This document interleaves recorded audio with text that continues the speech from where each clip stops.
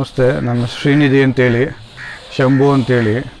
So ಇದು ಓದಿ ಹೆಸರು ಅಪ್ಪು ಅಂತ ನಾಮಕರಣ ಮಾಡಿದ್ವಿ ಜಿ ಕೆ ವಿ ಕೆಲಿ ಸೊ ಇದು ಎಲ್ಲರಿಗೂ ಗೊತ್ತಿರುವಂಥದ್ದು ಓರಿ ಇದು. ಹಾಗಾಗಿ ಇವತ್ತು ಸಂಕ್ರಾಂತಿ ಹಬ್ಬಕ್ಕೆ ಅಲಂಕಾರಗೊಂಡಿದೆ ಇದು.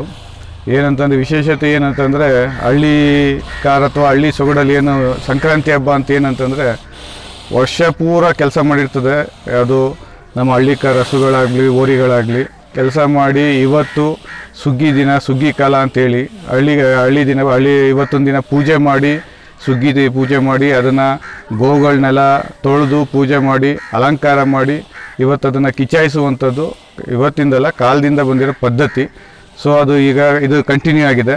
ಹಾಗೆ ಇಲ್ಲೇನಿನ್ನು ವಿಶೇಷತೆ ಇನ್ನೊಂದು ಏನು ಅಂತಂದರೆ ಇದ್ರ ರೂ ಇದನ್ನು ಏನು ಅಲಂಕಾರ ಮಾಡ್ತಾರೆ ಅದು ನೋಡೋಕ್ಕೆ ಎಷ್ಟು ಸುಂದರವಾಗಿ ಕಾಣುತ್ತೆ ಅಂತಂದರೆ ಈ ಹೆಣ್ಮಕ್ಳನ್ನ ಮದುವೆಯಲ್ಲಿ ಅಲಂಕಾರ ಮಾಡ್ದಂಗೆ, ಮದುವೆ ಹೆಣ್ಣನ್ನ ಶೃಂಗಾರ ಮಾಡ್ದಂಗೆ ಇದು ಕಾಣುವಂಥದ್ದು ಇವತ್ತು ಸೊ ಆ ಸ್ಪೆಷಾಲಿಟಿನೇ ಅದು. ಕಿಚ್ಚಾಯಿಸಿ ಮನೆಗೆ ಬಂದು ಅದಕ್ಕೆ ಬಾ, ಇದು ಬಾಳೆಹಣ್ಣು ಇದು ಎಲ್ಲ ಕೊಟ್ಟು ಒಳಗಡೆ ಆರತಿ ಎತ್ತಿ ಒಳಗಡೆ ಕರ್ಕೊಳ್ಳುವಂಥದ್ದೇ ಪದ್ಧತಿ, ಸಂಕ್ರಾಂತಿ ಪದ್ಧತಿ ಸರ್. ಸರ್, ಕೊಂಬು ಎಲ್ಲ ರೆಡಿ ಮಾಡ್ಬೇಕು ಸರ್. ಕುಡ್ಲು ತಕ್ಕಂದು ಎಲ್ಲ ನಾವು ವಾರ್ದು ಘಾಟ್ ತಕ್ಕಂದೆಲ್ಲ ನೈಸ್ ಮಾಡಿ, ಬಣ್ಣ ಹಾಕಿ, ಹೂವು, ಕಣ್ಕಪ್ಪು, ಮೊಕ್ರಂಬೆ ಎಲ್ಲ ಹಾಕ್ಬೇಕು ಸರ್ ಈ ಹಬ್ಬದಲ್ಲಿ ಬಸವಣ್ಣಗೆ ಅದೇ ಒಂದು ಸಂತೋಷ ಅದು. ಈಗ ಮಾಮೂಲಿ ಒರೆಸ್ಕೊಂಡು ಟ್ರಿಪ್ ಮಾಡೋದು ಸಂಕ್ರಾಂತಿ ದಿವಸ ಇದು. ಬಸವಣ್ಣನ. ಸಂಜೆ ಆದ ಕೂಡಲೇ ಊರಿನವರೆಲ್ಲ ಹೆಂಗೆ ಸೆಲೆಬ್ರೇಷನ್ ಮಾಡ್ತೀರಾ? ಸರ್ ಎಲ್ಲನೇ ಬರ್ತಾರೆ ಸರ್ ಅಲ್ಲಿಗೆ ಎಲ್ಲ. ಚಿಚ್ಚ ಚಿತ್ತಕ್ಕೆ ಬಂದು ಇಂಥವ್ರ ದನ ಅಂತ ನೋಡ್ತಾರೆ ಸರ್ ಎಲ್ಲ ಎಲ್ಲ ಊರೆಲ್ಲ ಬಂದು ಒಂದು ಜಾಗದಲ್ಲಿ ನಿಂತು ಸೊ ಅಲ್ಲಿಗೆ ಬೆ- ಇದು ಕಿಚ್ಚೆ ಹಾಕ್ಸಿ ಪೂಜೆ ಮಾಡಿ ಅದನ್ನು ಆರಿಸಿ ಅದರ ಬೆಂಕಿ ಆರಿಸ್ಕೊಂಡು ಮನೆಗೆ ಬಂದು ಅದನ್ನು ಗೋಗಳನ್ನ ಪೂಜೆ ಮಾಡಿ ಒಳಗಡೆ ಕರ್ಕೊಳ್ಳುವಂಥದ್ದೇ ಹಬ್ಬದ ಪದ್ಧತಿ ಸರ್. ಎತ್ತು ಸಾಕಿರೋಗೆಲ್ಲ ಸಂಕ್ರಾಂತಿ ಅಂದ್ರೇನೆ ಒಂದು ದೊಡ್ಡ ಹಬ್ಬ. ದೊಡ್ಡ ಅದೇ ಮೊದಲನೇ ಹಬ್ಬ ವರ್ಷದ ಮೊದಲನೇ ಹಬ್ಬನೇ ಅದು. ಮತ್ತೆ ಮನೇಲಿ ಸುಗ್ಗಿ ಕಾಲ ಅಂತ ಎಲ್ಲ ಬೆಳೆದಿರುವಂಥ ಇದು ಆಹಾರ ಧಾನ್ಯಗಳು ತುಂಬಿರುತ್ತಲ್ಲ ಮನೆಯಲ್ಲಿ. ರೈತರಿಗೆ ಈ ದಿನ ಸಂಕ್ರಾಂತಿ ಹಬ್ಬನೇ ಭಾಳ ಒಳ್ಳೆಯ ದಿನ. ಅವ್ರಿಗೆ ಅದೇ ವರ್ಷ ಬಾ ಅದು ಹೊಸ ವರ್ಷ ಅಂದರೆ ಅದೇನೇ ಅವ್ರಿಗೆ. ಒಟ್ಟಾಗಿ. ಒಟ್ಟಾಗಿ ಮಾಡುವಂಥ ಹಬ್ಬನೇ ಸಂಕ್ರಾಂತಿ ಹಬ್ಬ.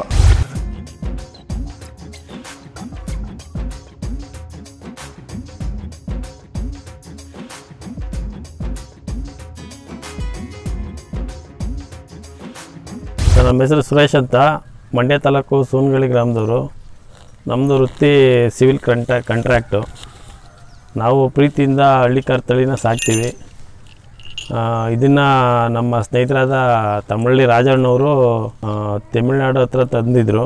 ಅವ್ರ ಹತ್ರ ನಾವು ತಗೊಂಡಿದ್ದೀವಿ. ಎಪ್ಪತ್ತೊಂದು ಸಾವಿರಕ್ಕೆ ತಗೊಂಡಿದ್ವಿ ಅಲ್ಲೇ ಮೂರು ತಿಂಗಳಲ್ಲಿ. ಅವ್ರು ತಂದಾಗ ನಾಲ್ಕೂವರೆ ತಿಂಗಳು. ಇದಕ್ಕೆ ಈಗ ಆರೂವರೆ ತಿಂಗಳಾಗಿದೆ. ಸರ್ ಇದು ಕರುನ್ ತಗೊಬೇಕ್ರೆ ಏನ್ ನೋಡಿ ಸೆಲೆಕ್ಟ್ ಮಾಡ್ತೀರಾ? ಸರ್ ನಾವು ಜಾತಿ ಮತ್ತೆ ಸುಳಿ ಉದ್ದ ಬಣ್ಣ ನೋಡಿ ತಗೋತೀವಿ ಸರ್. ಮತ್ತೆ ಎರಡು ನಾವು ಅಂದ್ರೆ ಏನಪ್ಪಾ ಅಂತಂದ್ರೆ ಫಿಲ್ಟರ್ ಮಾಡೇ ತಗೊಳ್ಳೋದು. ಉದ್ದ ಮತ್ತೆ ಓರಿಗೂ ಆಗ್ಬೇಕು ಈ ಕಡೆ ಸೋಕಿಗೆ ಕೂಟ ಮಾಡಿದ್ರೆ ಸೋಕಿಗೂ ಆಗ್ಬೇಕು. ಆ ರೀತಿಲಿ ತಗೋತೀವಿ ಸರ್. ಈ ಮುಂದೆ ಒಂದಿನ ಒಳ್ಳೇದು ಕರು ಆಗುತ್ತೆ ಅನ್ನೋ ಲೆಕ್ಕಾಚಾರಕ್ಕೆ ತಗೊಳ್ಳೋದು ಸರ್. ಸರ್ ಇದು ಫುಡ್ ಎಲ್ಲ ಯಾವ ತರ ಕೊಡ್ತೀರಾ? ಫುಡ್ಡು ಸಹ ಚಕ್ಕೆ ಬೂಸ ಹಿಂಡಿ ಮತ್ತೆ ಎಲೆ ಬೂಸ ರವೆ ಬೂಸ ಹಾಲು ಮೊಟ್ಟೆ ಮತ್ತೆ ಟಾನಿಕ್ಗಳು ಹಾಕ್ತೀವಿ ಸರ್ ಡೆವಲಪ್ಮೆಂಟ್ಗೆ ಇದಕ್ಕೆ ಹಾಲುಗೋಸ್ಕರನೇ ಒಂದು ಹಸು ತಂದಿದ್ದೀವಿ.